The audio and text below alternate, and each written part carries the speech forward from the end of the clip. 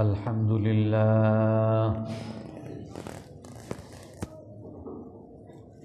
الحمد لله نحمده ونستعينه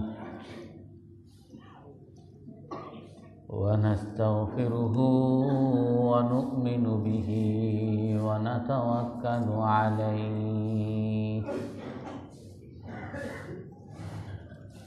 ونعوذ بالله من شرور أنفسنا ومن سيئات أعمالنا. من يهده الله فلا مضل له ومن يضلله فلا هادي له. ونشهد أن لا إله إلا الله وحده لا شريك له. ونشهد أن سيدنا ومولانا محمدا عبده ورسوله. أرسله بالحق بشيرا ونذيرا بين يدي الساعة. من يطع الله ورسوله فقد رشد واهتدى. ومن يعصهما فقد ضل وغوى أما بعد فأعوذ بالله من الشيطان الرجيم. بسم الله الرحمن الرحيم.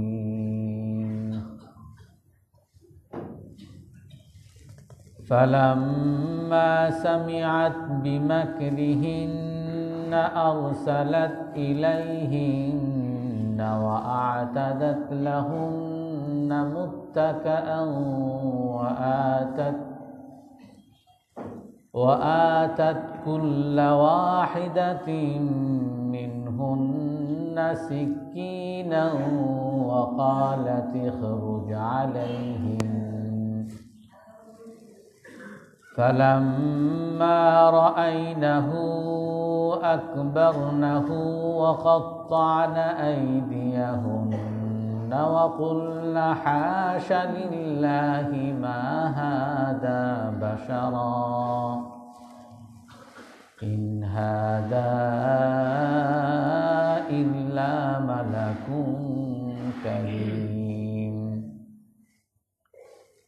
قالت فذلكن الذي لمتنني فيه.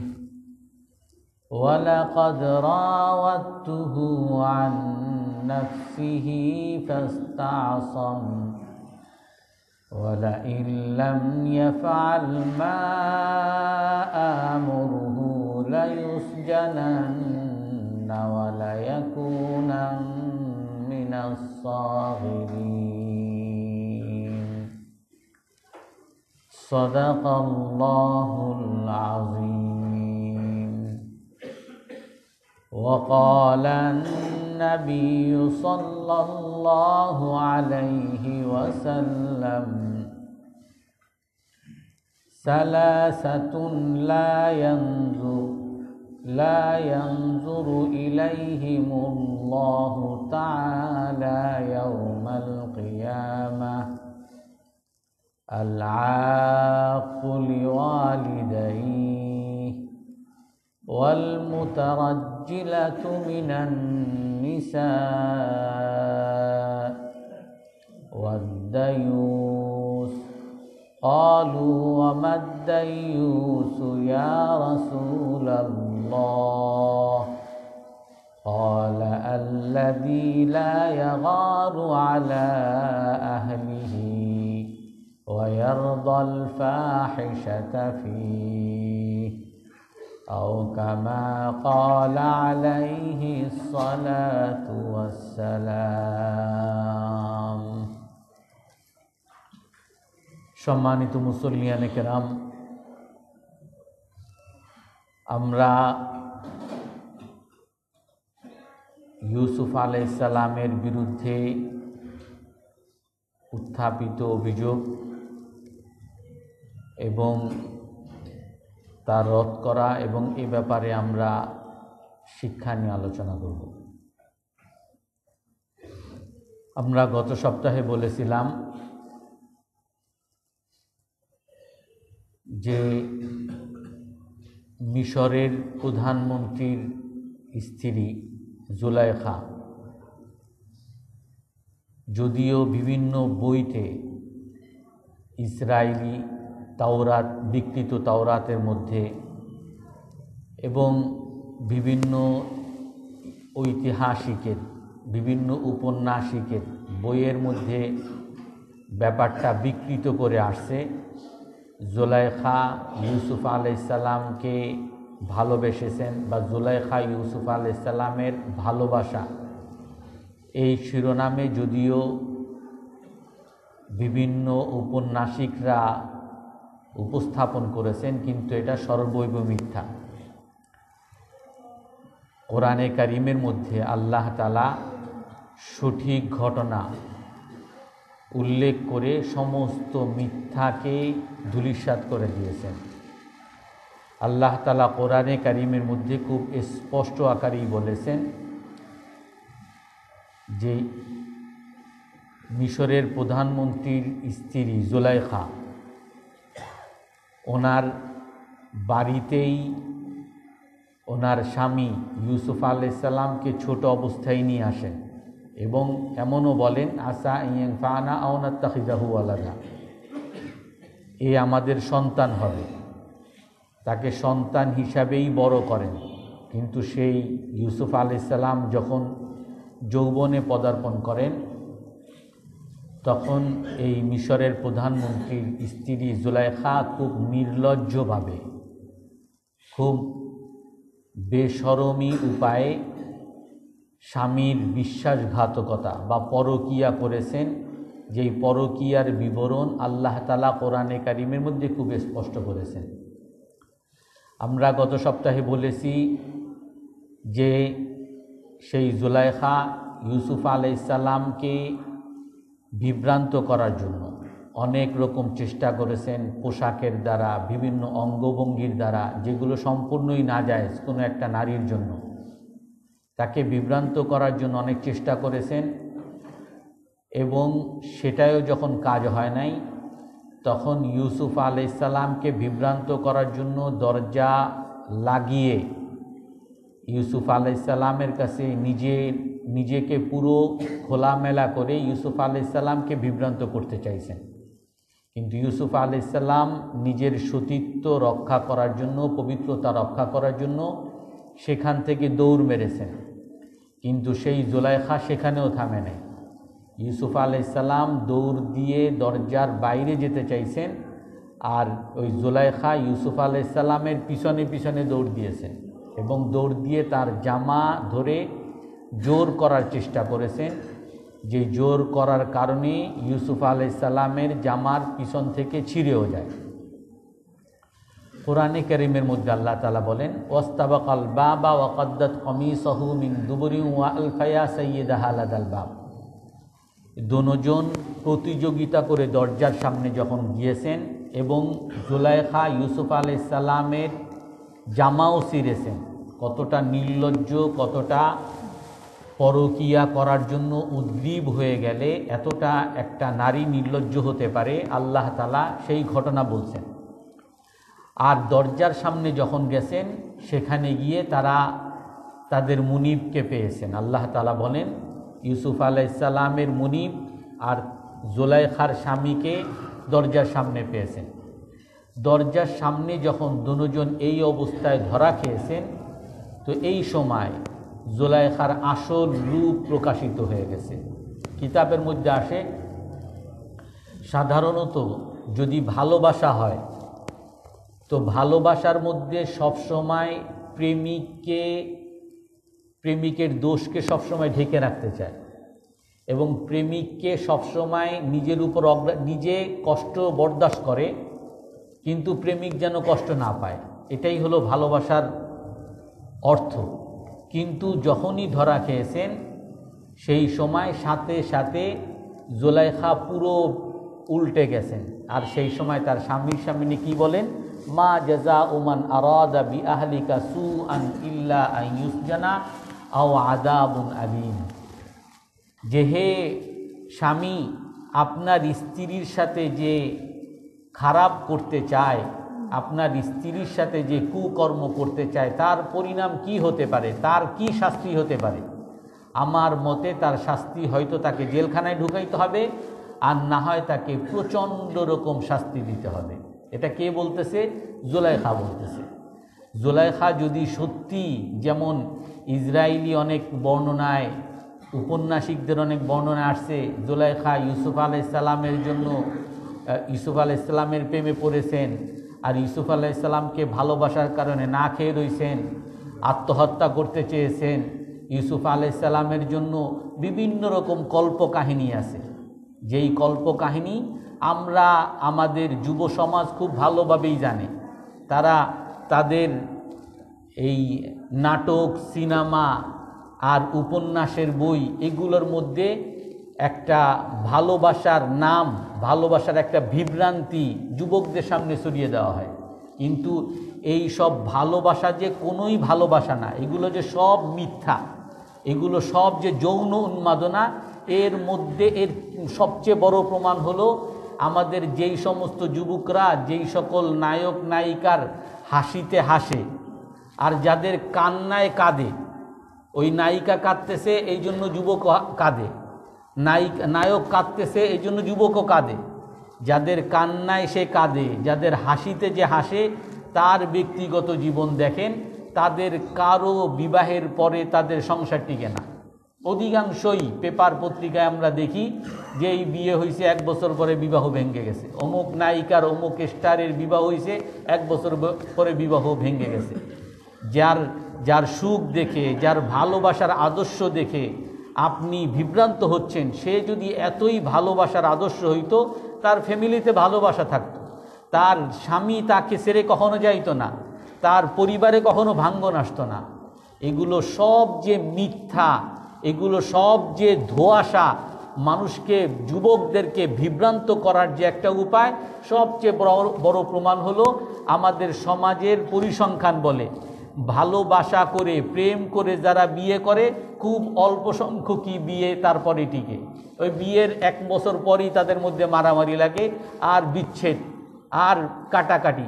এই পেপার পত্রিকায় আসে যে এখন বর্তমান বাংলাদেশে, ঢাকা শহরে বিশেষ করে, প্রতি মাসে মানে গড়ে সত্তর পার্সেন্টের মতো তালাকের কেস আসে। অর্থাৎ অধিকাংশ বিয়েই বিয়ের পরে এই বিয়েগুলো টিকতেছে না। এই বিয়েগুলো ভেঙ্গে যাচ্ছে। আর কারণ কি? কারণের মধ্যে তারা লেখে যে এই সমস্ত বিয়েগুলো সামাজিকভাবে বিয়ে হয় না। মা বাবাকে নিয়ে মা বাবা দেখাশোনা করে যেইভাবে আমাদের বাবা মারা যেভাবে সামাজিকভাবে ইসলামিক নিয়মে বিয়ে, এইসব বিয়ে হয় না। ওই প্রেম করছে, তার ভালো লাগছে, বাস বিয়ে করছে, চুরি করে বিয়ে করছে কলায় বিয়ে করছে, আর যার কারণে এই বিয়েগুলো টিকে না। এই জন্য কোরআনে করিমের মধ্যে আল্লাহ তালা বলেন, খুব স্পষ্ট করে আমাদেরকে দেখা দেন। যেই জুলাইখা ইউসুফ আলাইসাল্লামের প্রেমে হাবুডুবু খায় আমাদেরকে বলা হয়। সেই জুলাইখা যখনই তার স্বামীর কাছে ধরা খায়, স্বামীর কাছে ধরা খাওয়ার সাথে সাথে ওই ইউসুফ আলাইসাল্লাম সম্পর্কে সে বলে যে, মা জাজা উমান আরাদাবি আহলি কাসুয়া যে আপনার স্ত্রীর সাথে খারাপ কাজ করতে চায়, তার শাস্তি কি হতে পারে? আমার মত হইল তাকে জেলখানায় ঢুকানো, আও ইউসজানা আও আদাবুন আলিম, অথবা তাকে কঠিন শাস্তি দেওয়া। ইউসুফ আলাইসাল্লাম একজন নিরপরাধ। ইউসুফ আলাইসাল্লাম একজন পবিত্র। ইউসুফ আলাইসাল্লাম এই সকল অভিযোগ যা তার উপরে আরোপ করা হইতেছে, উনি এই থেকে পবিত্র। তো যার কারণে ইসলামের নিয়ম হলো যে সেই সময় আমি গত সপ্তাহে বলেছিলাম, লা ইহিবুল্লাহুল জাহরা বিসু ইমিনাল কৌলিল্লা মংজুলিম আল্লাহ তালা কোরআনের মধ্যে বলেন যে আল্লাহ তালা কোনো খারাপ কথাকে, জোরে বলাকে, ঘোষণা করাকে পছন্দ করেন না। তবে এক ক্ষেত্রে যদি সে নির্যাতিত হয়, তখন সে তার উপরে একজনে জুলুম করছে, তার সাথে একজন বেবিচার করতে চাইছে, সে আসলে নিরাপরাধ, সে জোরে স্পষ্ট বলতে পারবে। ইউসুফ আলাইসাল্লাম আমাদেরকে শিক্ষা দেন, আর সেখানে বলেন কলাহিয়া রাওয়াদাত নিয়ে আন্নাফসি ইউসুফ আলাইসাল্লাম বলেন যে, আমি আপনার স্ত্রীর সাথে কখনো বিশ্বাসঘাতকতা করতে পারি না। আমি আপনার স্ত্রীর সাথে পরকিয়া করি নাই। বরং সে আমাকে ফুসটাইছে সে আমার সাথে খারাপ কাজ করতে চাইছে। এখন এখানে যেহেতু ইউসুফ আলাইসাল্লামের একরকম ভাষ্য, জুলাইখার একরকম ভাষ্য, এখন স্বাভাবিকভাবে তৃতীয় জন লাগবে। তো ইউসুফ আলাইসাল্লামকে জিজ্ঞাসা করেন, তুমি যে বলো যে, তুমি যে তুমি তাকে ফুসলাও নাই, সে তোমাকে ফুসলাইছে। তোমার দলিল কি? ইউসুফ আলাইসাল্লামের কোনো দলিল নাই। ইউসুফ আলাইসাল্লামের এই অবস্থা কেউ দেখেও নাই, দরজা বন্ধ ছিল, কেউ দেখেও নাই। আর কাকেই বা বলবে? যাকেই বলবে? ওই বাড়িতে যারা ছিল সব চাকর বাকর, খাদেম, খুদ্দামরা। আর চাকর কখনো মনিবের বিরুদ্ধে বলবে না। ইউসুফ আলাইসাল্লামের পক্ষে আইসা কেউ বলবে না। এবং স্বামীও কখনো স্ত্রীর বিরুদ্ধে কথা একজন চাকরের কথা কখনো শুনবে না। তো ইউসুফ আলাইসাল্লাম এমন এক গ্যারাকলে পড়ছেন যে ওনার পক্ষের কোনো লোক নাই। ওনার পক্ষের লোক থাকারও কথা না। কারণ পরিস্থিতি এমন, আমি যদি আপনি নিজেকে চিন্তা করেন, আপনি যদি এরকম কোথাও পড়েন, তো আপনিও সেখানে এমন গেরা, আপনি নিরাপরাধ, কিন্তু আপনি ফেসে যাবেন। তো ইউসুফ আলাইসাল্লাম এখানে ফেসে যাওয়ার মতো অবস্থা। তো আল্লাহ তালা বলেন ওয়াশাহিদা শাহিদুম মিন আহলিহা। ইউসুফ আলাইসাল্লাম যেহেতু পবিত্র, আল্লাহ তালা ইউসুফ আলাইসাল্লামের সাহায্যের জন্য এগিয়ে আসছেন। আল্লাহ তালা বলেন যে মেয়ের পরিবারের পক্ষ থেকে, মেয়ের পরিবার অর্থাৎ জোলাইখার পরিবারের পক্ষ থেকে একজন সাক্ষী এসে হাজির হয়েছে। এই সাক্ষী যদি স্বামীর পক্ষ থেকে আসতো, এমন বলেন নাই, জোলাইখার পক্ষ থেকে। অনেক সময় দেখবেন যে অনেক সময় স্বামী স্ত্রীর মধ্যে ঝগড়া লাগে। এখন ঝগড়া লাগার মধ্যে যদি আসলেই স্ত্রী কোনো অপরাধ করছে, আর ওই অপরাধের কথা স্বামীর মা, অর্থাৎ শাশুড়ি, অথবা স্বামীর বাবা, অথবা স্বামীর ভাই যদি কেউ সাক্ষী দেয়, সাথে সাথে স্ত্রী এইটাকে অস্বীকার করবে যে আপনার ছেলে আপনার ছেলে, আপনার ভাই, আপনার বোন, আপনার পক্ষেই তো সাক্ষী দিবে, অস্বীকার করবে। অস্বীকার করারই সাধারণ বিষয়। এই জন্য আল্লাহ তালা বলেন যে একজন সাক্ষী দিছে এই জোলাইখার পক্ষ থেকে, জোলাইখার পরিবারের একজন সাক্ষী। এখন এই সাক্ষীকে তাফসিরের কিতাবের মধ্যে চার ধরনের বর্ণনা আসছে। একটা বর্ণনা আসছে, যেটা হাদিসের মধ্যে আসছে লামিয়াতাকাল্লাম ফিল মাহদি ইল্লা সেগার। যে শিশু অবস্থায় একেবারে দুধ পান করা অবস্থায় চারজন শিশু দুনিয়াতে আল্লাহ তালা কথা বলাইছেন। আর এই চারজন শিশুকে আল্লাহ তালা কথা বলেছেন আল্লাহ তালার বান্দার সাহায্যে। আমি চারজনের কথা বলব না, তার মধ্যে একজন আছে শাহিদু ইউসুফ। ইউসুফ আল ইসলামের একজন সাক্ষী। এক বর্ণনা আসছে যে ওইখানে জোলাইখার আত্মীয়র এক সন্তান ছিল। সেই ছোট শিশু, সে এসে হাজির হয়ে ওইখানেই ছিল। ওই যখন নাকি এই ঝগড়াঝাটি চলতেছে, সে সাক্ষী দেওয়া শুরু করছে। ইনকান আকামি সুহু কুদ্দামিন কবুল মিনাল কাদিবিন সে বলা শুরু করছে, ছোট বাচ্চা দুধ পান করে, যার কথা বলার কথা না। সে বলা শুরু করছে, যে দেখো, তার এই ইউসুফ আলাইসাল্লামের জামা সামনে দিয়ে সিরা না পিছন দিক থেকে সিরা? ইনকানা কমিসুহু কুদ্দামিন কুবুল পসদাকাত যদি তার জামা সামনে দিয়ে সিরা থাকে, তাহলে জোলাইখা সত্য কথা বলছে। আর ইউসুফ আলাইসাল্লাম মিথ্যা কথা বলছে। কারণ তখন বোঝা যাবে যে ইউসুফ আলাইসাল্লাম জোলাইখার উপরে আক্রমণ করছে, আর জোলাইখা ইউসুফ আলাইসাল্লাম থেকে বাঁচার জন্য তার জামা ছিঁড়ছে। দস্তাদস্তি করতে গিয়ে সামনে থেকে জামা ছিঁড়ছে। আর ওয়াইনকানা কমিসুহু কুদ্দামিং দুবুর, আর ইউসুফ আলাইসাল্লামের জামা যদি পিছন থেকে ছিঁড়া থাকে, তাহলে ফাঁকাজাবাদ ওহুয়ামিনা সদিকিন। তাহলে জুলাইখা মিথ্যা বলছে, ইউসুফ আলাইসাল্লাম সত্য বলছে। কেন? কারণ পিছন থেকে সিরার অর্থই হলো, ইউসুফ আলাইসাল্লাম এই খারাপ কাজ থেকে বাঁচার জন্য উনি দৌড় দিয়েছেন, আর পিছন থেকে সে টান দিয়েছেন। আর টান দেওয়ার কারণে ওনার জামা পিছন থেকে সিরা আর উনি যদি ইউসুফ আলাইসাল্লাম যদি তার উপর আক্রমণ করে থাকেন, পিছন থেকে সিরার কোনো প্রশ্নই আসে না তো পিছন থেকে যদি সিরা হয়, তাহলে ইউসুফ আলাইসাল্লাম সত্যবাদী আর জোলাইখা মিথ্যাবাদী এই কথা যখন সে বলছে, ওই শিশুটা এমন না, শিশু যদি বলতো যে ইউসুফ আলাইসাল্লাম সত্য বলতেছে আর জোলাইখা মিথ্যা বলতেছে, এই সময় জোলাইখা অস্বীকার করত। কারণ মেয়েরা সব কিছু অস্বীকার করার চেষ্টা করে। আর এরকম কঠিন মুহূর্তে আরও বেশি অস্বীকার করত। আর অস্বীকার করলে জুলেখা যদি অস্বীকার করত, তার স্বামীও এবং তার ফ্যামিলির এক দুর্নাম, এক গোলামের জন্য কখনো ছেড়ে দিতেন না। ওই তার স্বামীও তার পক্ষেই যাইতেন। আর ইউসুফ আল ইসলাম দোষী হিসাবে সাব্যস্ত হইতেন।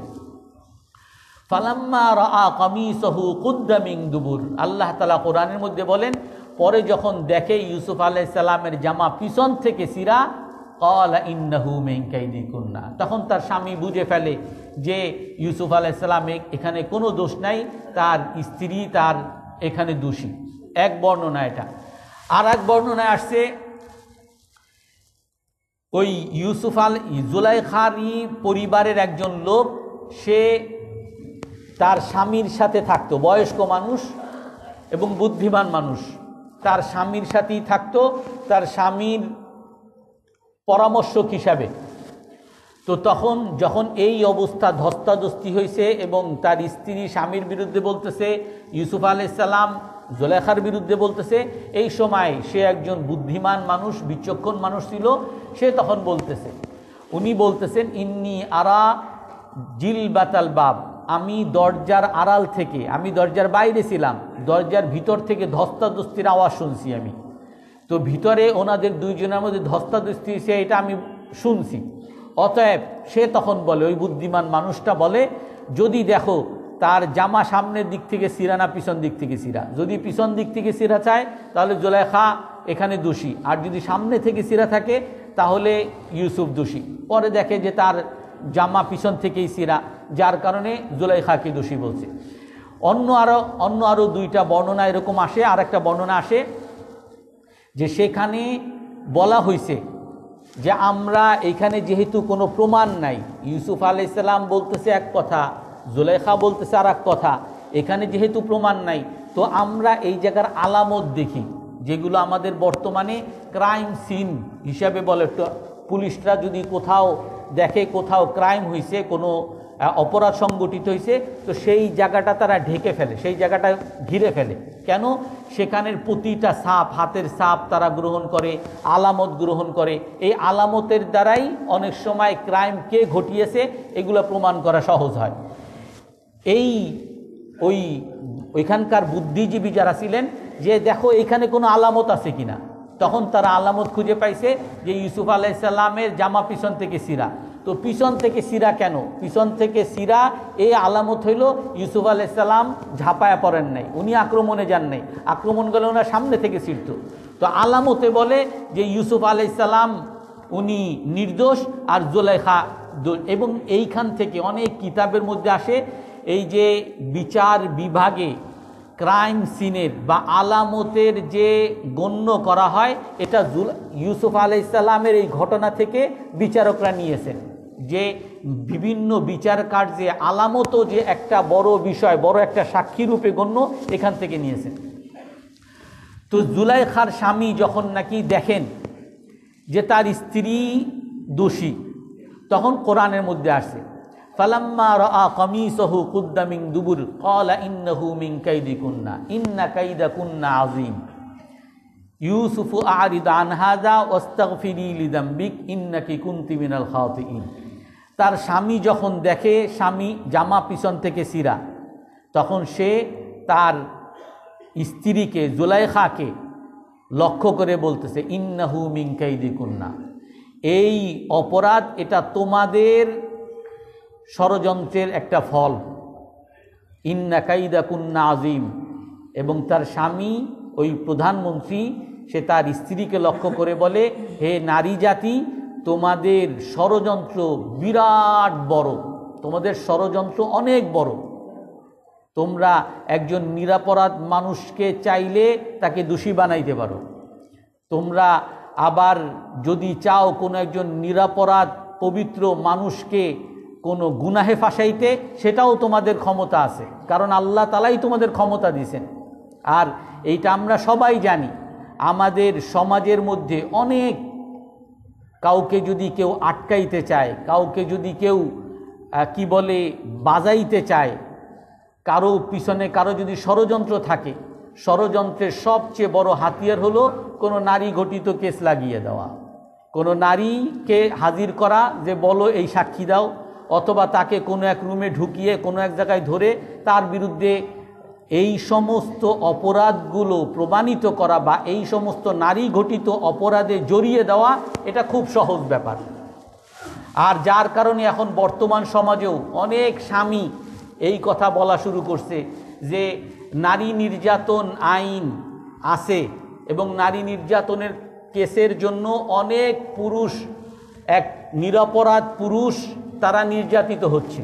কিন্তু পুরুষ নির্যাতনের আইন কোনো জায়গায় নাই বা কোনো জায়গায় বিচারও পায় না। এই জন্য অনেকেই অনেক জায়গায় কি বলে শো ডাউন করার চেষ্টা করে, তারপরে লিফলেট দিয়ে বিলি করার চেষ্টা করে। তো জুলাইখার স্বামী বলতেছে, ইন্না কাইদাকুন নাজিম তোমাদের ষড়যন্ত্র অনেক কঠিন, অনেক বড়।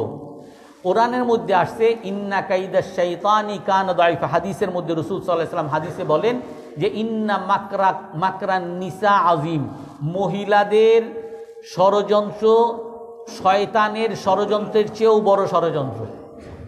রসুল সাল্লা হাদিসের মধ্যে আসছে, এই তাফসির কর্তুবির মধ্যে হাদিসটা আসছে। মহিলাদের ষড়যন্ত্র শয়তানের ষড়যন্ত্রের চেয়েও বড় ষড়যন্ত্র। কেন? কারণ আল্লাহ তালা কোরআনের মধ্যে বলেন, ইন্না কাইদা শৈতানি কানা দাইফা কোরআনের মধ্যে আল্লাহ তালা বলেন, শয়তানের ষড়যন্ত্র খুব দুর্বল। আর সেই কোরআনের মধ্যে আল্লাহ তালা বলেন, ইন্না কাইদা কুন্না আজিম হে নারী জাতি, তোমাদের ষড়যন্ত্র অনেক মহান। এই জন্য কোনো স্বামী, কোনো স্ত্রী যদি চায়, তার স্বামীকে পাগল বানাইতে খুব সহজ। দুই দিনই পাগল বানায় ফেলতে পারবে। কোনো স্বামী যদি চায় তার কোনো স্ত্রী যদি চায়, তার স্বামীকে হার্টবিট বাড়িয়ে প্রেশারের রুগী বানাবে, তাকে কি বলে ডায়াবেটিসের রুগী বানাবে, একজন স্ত্রীর কাছে খুবই সহজ। আবার ওই স্ত্রী যদি চায় যে না, ঘরটাকে একটা সুন্দর, সুখী সবাইকে নিয়ে তার বাবা মা, ভাই বোন সবাইকে নিয়ে সুখী একটা সংসার করবে, একজন স্ত্রীর পক্ষে এটাও সহজ। এই জন্যই আল্লাহ তালা বলেন ইন্না কাইদাকুন নাজিম ওই জোলাইখার স্বামী প্রধানমন্ত্রী ইউসুফ আরিদান হাদা ওস্তাক ফিরিল জাম্বি ইউসুফ আলাইসাল্লামকে লক্ষ্য করে বলে, ইউসুফ, যা হইছে হইছে, তুমি চেপে যাও। কারণ তুমি এইগুলা মানুষকে বলা বা কারও কাছে বিচার চাইতে যাওয়া বা এই যা হইছে, এইগুলো যদি কাউকে বলতে যাও, তাহলে আমার মান সম্মানের ব্যাপার। সবাই বলবে যে, প্রধানমন্ত্রীর বউ এই চাকরের পিছনে লাগছে বা এই চাকরের, চাকরকে নষ্ট করতে চাইছে, চাকরকে বিকৃত, বিভ্রান্ত করতে চাইছে, আমার এটা বদনাম। অতএব ইউসুফু আর ইদান হাজো এটার থেকে চুপে যাও, তুমি চুপ করে যাও, এই কথা কাউরে বলতে যাবা না। ওস্তাগ ফিরি লিজাম্বিক আর তার স্ত্রীকে সে কি শাস্তি দিতেছে? তার স্ত্রীকে বলতেছে, হে জোলাইখা, তুমি ক্ষমা চাও লিজাম্বিক তোমার গুনাহের জন্য। তুমি পাপ করেছ তোমার এই পাপের জন্য তুমি আল্লাহর কাছে ক্ষমা চাও। ওস্তাক ওস্তাগফিরি লিদাম্বিক ইন্নাকি কুন্তি মিনাল খাওয়াতি ইন কারণ তুমি দোষী। তার স্ত্রীকে লক্ষ্য করে বলে তুমি দোষী। এখান থেকে তাফসিরের কিতাবগুলোতে আসে যে তার এই প্রধানমন্ত্রী, সে তার স্ত্রীর পরকীয় সম্পর্কে জানতে পারে। তার স্ত্রীর চরিত্র খারাপ, এটাও জানতে পারে।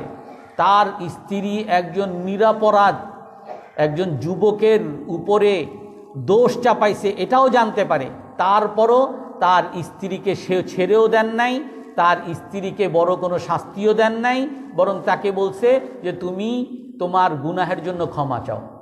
এখান থেকে তাফসির নাবুলসির মধ্যে বিশেষ করে বলে যে এই স্ত্রীর প্রতি, স্ত্রী এত বড় অপরাধ করেও এটাকে হালকা মনে করা এটাকে হালকা মনে করা, এটাই হলো সমাজ নষ্ট হওয়ার বড় একটা আলামত।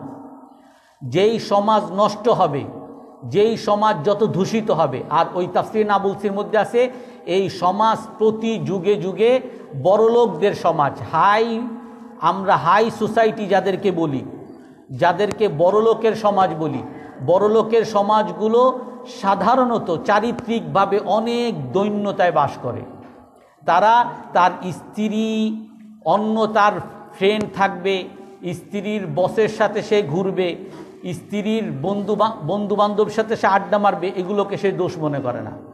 আজ, আজও যদি আমরা দেখি, আমাদের যত নাইট ক্লাব আছে নাইট ক্লাবে ছেলে মেয়ের ওখানে বিচরণ, আপনি যতই দেখবেন ওই মেয়েদের বিচরণ, মেয়ে কারা? বড় লোকের কোনো আয় আর ওই পুরুষ কারা পুরুষটা দেখা যায় বড় লোকের কোনো ছেলে বা বড় লোকের বড় বড় ব্যবসায়ী, বড় বড় মার্চেন্ট তারা ওই সমস্ত নাইট ক্লাবে যায় আর ওই মেয়েরা ওই সমস্ত নাইট ক্লাবে যায়।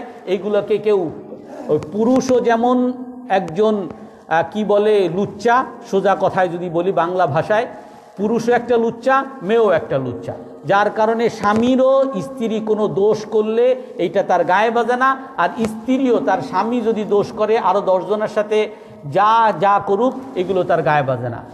আর এইটা হলো এক, যে কোনো একটা সমাজ ধ্বংসের, সমাজ চারিত্রিকভাবে নষ্ট হওয়ার মূল একটা আলামত। এর একটা অন্য ভাষায় হাদিসের মধ্যে ভাষা আসছে।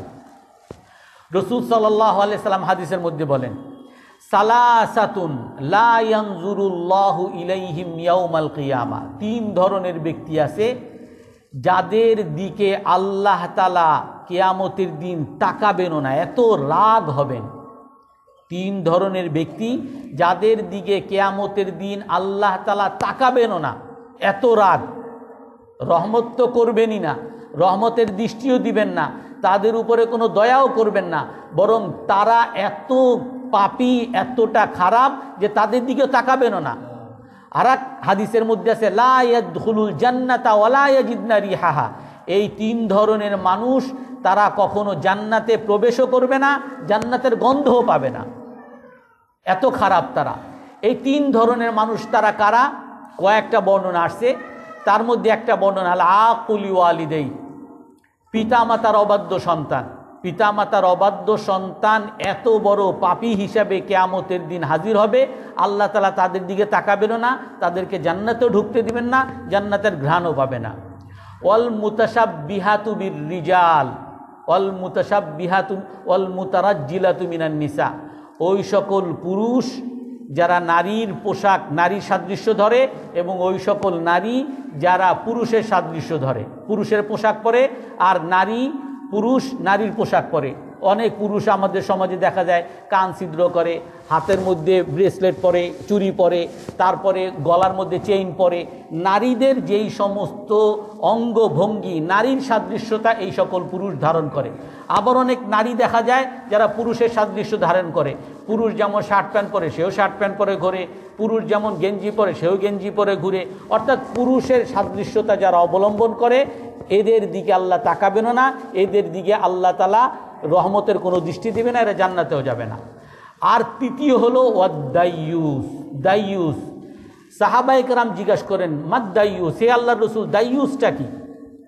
রসুল বলেন আল্লাদি ইয়াগারু আলা আহলিহি আল্লাদি লা ইয়াগারু আলা আহলিহি। যার পরিবারের ব্যাপারে তার কোনো আত্মসম্মান বোধ নাই। তার পরিবারের ব্যাপারে তার কোনো আত্মসম্মান বোধ নাই।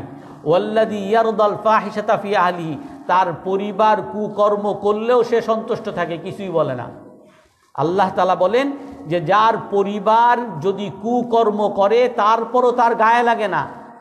তার স্ত্রীরে দেখে নেতার সাথে সে ঘুরতে যাইতেছে, বসের সাথে সে ঘুরতে যাইতেছে, তার স্ত্রীকে দেখে তার বন্ধুদের সাথে ঘুরতে যাইতেছে, তার স্ত্রীকে দেখে চাচাতো ভাইয়ের সাথে ঘুরতে যাইতেছে, তার স্ত্রীকে দেখে তার অফিসের কলিকরা যখন আসে, তাদের সাথে একেবারে গায়ে গায়ে মিলে চলতেছে। অথচ এইগুলো দেখে আর ওই স্বামীর কোনো আত্মসম্মান বোধে লাগে না। আল্লাহ তালা বলেন, এই সকল পুরুষ, এই সকল পুরুষরাও কোনো দিন জান্নাতেও যাবে না, জান্নাতের ঘ্রাণও পাবে না এবং তাদের দিকে আল্লাহ তালা রহমতের দৃষ্টিও দিবেন না। এবং কোরআনের মধ্যে একটা আয়াত আসছে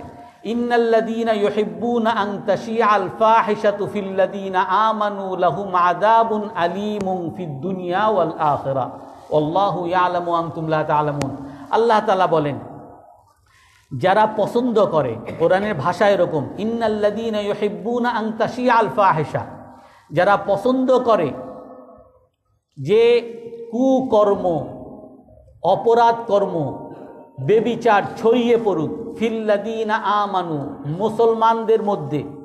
যারা পছন্দ করে মুসলমানদের মধ্যে বেবিচার ছড়িয়ে পড়ুক। লাহুম আদাবুন আলিম, যারা পছন্দ করে শুধু। আল্লাহ বলেন, যারা পছন্দ করে বেবিচার ছড়িয়ে পড়ুক, তাদের জন্য লাহুম আদাবুন আলিমুন ফিদ দুনিয়া ওয়াল আখরা, তাদের জন্য আল্লাহ তালা রেখেছেন কষ্টদায়ক শাস্তি দুনিয়া এবং আখেরাতে। দুনিয়াতেও তাদের জন্য চরম শাস্তি তাদের বউ থাকবে না। বউ সমস্ত পরকিয়া করবে। যেই স্বামী তার স্ত্রীকে, স্ত্রীর ব্যাপারে আত্মসম্মান বোধ না, যেই স্বামী তার স্ত্রী অপরাধ করলেও যে বাধা দেয় না, যে স্বামী তার স্ত্রী তার বান্ধু, বন্ধুদের সাথে চলুক, তার বসদের সাথে চলুক, তার নেতাদের সাথে চলুক, তার আত্মীয় স্বজন, চাচাতো ভাই, খালাতো ভাই এদের সাথে সে চলাফেরা করে বিভিন্ন জায়গায় ঘুরতে যায়, যে বাধা দেয় না, তার দুনিয়া ধ্বংস, এই স্ত্রী তার স্ত্রী কিছুদিন পরে থাকবে না, পরকিয়া করে তার সংসার আগুন লাগাবে। এবং আখেরাতে আল্লাহ তালা তার জন্য শাস্তি রাখছেন, যে আখেরাতে আল্লাহ তালা তাকে জান্নাতেও ঢুকাবেন না, আখেরাতে আল্লাহ তালা তার দিকে তাকাবেনও না, তার দিকে রহমতের দৃষ্টিও দিবেন না। এখান থেকে এখান থেকে, এই আয়াত থেকে দায়ুস শুধুমাত্র ওই স্বামীদেরকে বলা হয় না। মুফাসিরিনে কেরাম যে তাফসির করেন, দায়ুস শুধু স্বামী না, দায়ুস সমাজের প্রতিটা মুসলমান। যেই মুসলমান সমাজের মধ্যে দেখে বেবিচার ছড়িয়ে পড়তেছে, তার মেয়ে না হোক আর এক মেয়ে উলঙ্গ পোশাক পরে ছেলেদেরকে বিভ্রান্ত করতেছে যেই পুরুষ দেখতেছে, তার সমাজে নাচ গানের নামে, নর্তকীর নামে, গান বাজনার নামে, আড্ডার নামে, পার্টির নামে, বিভিন্ন মদের পার্টির নামে সমাজে অশ্লীলতা ছড়িয়ে পড়তেছে। যেই মুসলমান দেখবে তার সমাজের মধ্যে বিবাহের পার্টি নামে, হলুদ পার্টি নামে অসভ্যতা ছড়িয়ে পড়তেছে আর তার গায়ে বাজবে না। সে বলবে, এটা হলো স্বাধীনতা। এটা হলো স্বাধীনতা। এটা হলো যার ব্যক্তি স্বাধীনতা। যার ব্যক্তি যে কালকে দেখলাম আর কি কিছু ঢাকা ইউনিভার্সিটির কিছু মেয়েরা ঢাকা ইউনিভার্সিটিতে পোস্টার লাগিয়ে তারা স্লোগান দিতেছে তারা প্রসেশন করতেছে প্রসেশন কি যে তারা বোরকা পরবে এই বোরকা পড়তে কোন বিভাগ থেকে বোরকা পড়তে নিষেধ করা হয়েছে যে তাদের পরীক্ষায় যখন ভাইবা পরীক্ষা হয় ভাইবা পরীক্ষায় তাদের মুখ খুলতে বাধ্য করা হইতেছে তো এই সমস্ত মেয়েরা বলতেছে, যদি উলঙ্গ থাকা, এটা যদি একটা নারীর স্বাধীনতা হয়, তা আমি বোরকা পরব, আমি বোরকা পরে ইউনিভার্সিটিতে আসব, এটা আমার কেন স্বাধীনতা হবে না? এই স্বাধীনতা কেন হরণ করা হবে?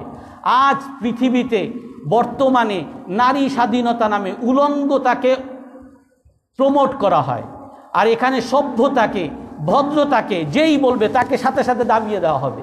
যে বলবে যে এই ভদ্রতা এটা এটা উলঙ্গতা, তাকে সাথে সাথে বলা হবে, এ হলো গোড়া এ হলো মৌলবাদী, এ হলো সাম্প্রদায়িক।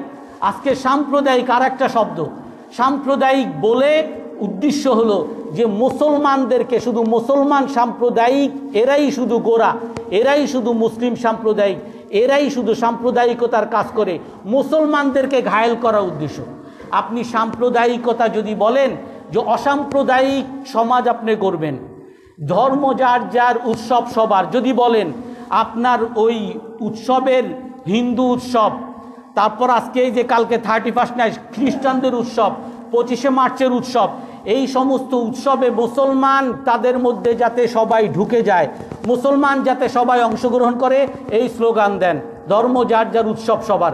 কিন্তু যখন আমাদের মসজিদে জুম্মান নামাজ হয় যখন আমাদের ঈদের ঈদের নামাজ হয়, যখন আমাদের কোরবানির সময়, যখন কোরবানি জবাইয়ের হয়, ওই সময় আপনার স্লোগান কেন হয় না? হিন্দুরা তোমরা আমাদের কোরবানি জবাইয়ের স্লোগানে, কোরবানির জবাইয়ের আনন্দে আসো, একসাথে ভাগ দাও। আসো, এই আনন্দে তোমরা উপভোগ করো। এই আনন্দে তোমরা আমাদের সাথে উৎসব পালন করো। এই কথা কেন বলেন না? আজ এই সমস্ত সাম্প্রদায়িকতার কথা, এই সমস্ত নারী স্বাধীনতার কথা, এগুলো একমাত্র মুসলমানের ইসলামকে ধ্বংস করা ছাড়া আর কোনো কথা না। মুসলমানের ইসলামকে ধ্বংস করা কীভাবে যায়? এই জন্যই এই সাম্প্রদায়িকতার ধোয়া তোলা হয়। এই জন্য নারী স্বাধীনতার ধোয়া তোলা তোলা হয়। আর মুসলমান আল্লাহ তালা খুব স্পষ্ট করে, নতুন করে আমার মতো হুজুর বলতে হবে না। এগুলো বললে ওই হুজুরে গোরামি কথা বলছে। ওই হুজুরে এরকম গোরামি কথা বলছে। আমি বলি নাই। আল্লাহ তালা বলতেছেন, আল্লাহর রসুল বলতেছেন ইন্নাল্লাদিনা ইউহিব্বুনা আমানু লাহুম আযাবুন আলীমুন ফিদ দুনিয়া আখিরা।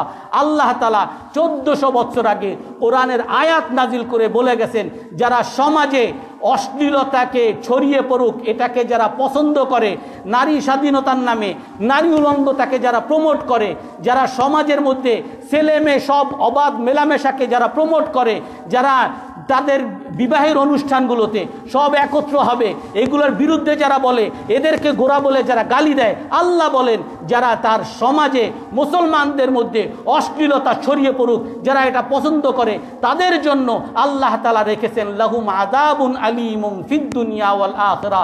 তাদের জন্য আল্লাহ তালা কষ্টদায়ক শাস্তি রাখছেন। দুনিয়াতে, আখেরাতে, ওলাহুম খিজিউম আর তাদের জন্য অপমান রাখছেন। আল্লাহ তালা দুনিয়াতে, আখেরাতে, আর রসুল সাল্লাহ আলাইসাল্লামে স্পষ্ট করে হাদিস বলে গেছেন, তিন ধরনের ব্যক্তি কখনো জান্নাতে ঢুকবে না, জান্নাতের ঘ্রাণও পাবে না, আল্লাহ তালাও তার দিকে রহমতের দৃষ্টিতে তাকাবেন না, আল্লাহ তালাও তার দিকে কখনো তাকাবেন না। তিন ধরনের ব্যক্তির মধ্যে এক ব্যক্তি হলো দায়ুস ওই ব্যক্তি যে তার পরিবারে, তার সমাজে অশ্লীলতাকে, অভদ্রতাকে কুকর্মকে ছড়িয়ে পড়াকে পছন্দ করে। সে এই ক্ষেত্রে বাধা দেয় না। এই ক্ষেত্রে তার আত্মসম্মান বোধে লাগে না যে আমার মেয়ে আজ আরেকজনের সাথে হাঁটতেছে, আমার ওয়াইফ আরেকজনের সাথে হাঁটতেছে, যেটা তার আত্মসম্মান বোধে লাগে না। আল্লাহ তালা বলেন, এই সকল আত্মসম্মান বোধহীন পুরুষের জন্য আল্লাহ তালা জান্নাতকে হারাম করে দিছেন আল্লাহ তালা তার দিকে তাকাবেন না।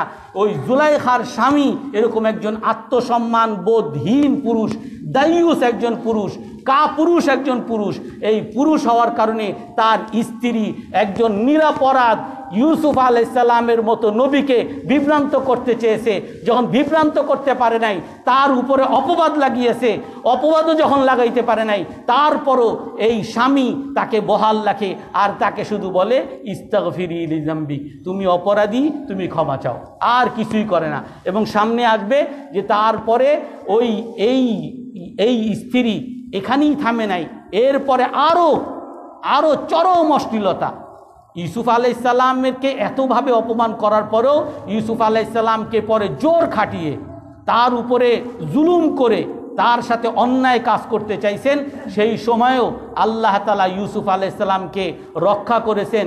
আর ওই সময়ও তার ওই স্বামী ইউসুফ আলাইসাল্লামকে কোথায় সম্মান করবেন, তার স্ত্রীকে কোনো দোষারোপ করবেন, স্ত্রীকে কোনো শাস্তি দিবেন, স্ত্রীকে কিছুই না বলে ইউসুফ আলাইসাল্লাম নিরপরাধ একজন মানুষকে জেলখানায় ঢুকিয়ে দেন। ইউসুফ আলাইসাল্লাম সেই দোষের কারণে, সেই নিরপরাধ, নির্দোষ নির্দোষ থেকেও ইউসুফ আলাইসাল্লামকে কোনো কোনো বর্ণনায় ১৩ বছর জেলখানায় পুরে থাকতে হয়।